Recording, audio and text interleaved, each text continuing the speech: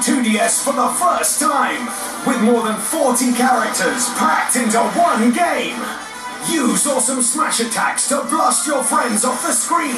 Super Smash Bros. for Nintendo 3DS and 2DS, out 3rd October. Elite Demolisher 2-in-1, first ever 2-in-1 Nerf Blaster. Fires rapid fire darts. And Demolisher missiles. Stand by for code 6th of October 2014. Go to nerfelite.co.uk. It's Nerf or nothing. I'm gonna get there somehow.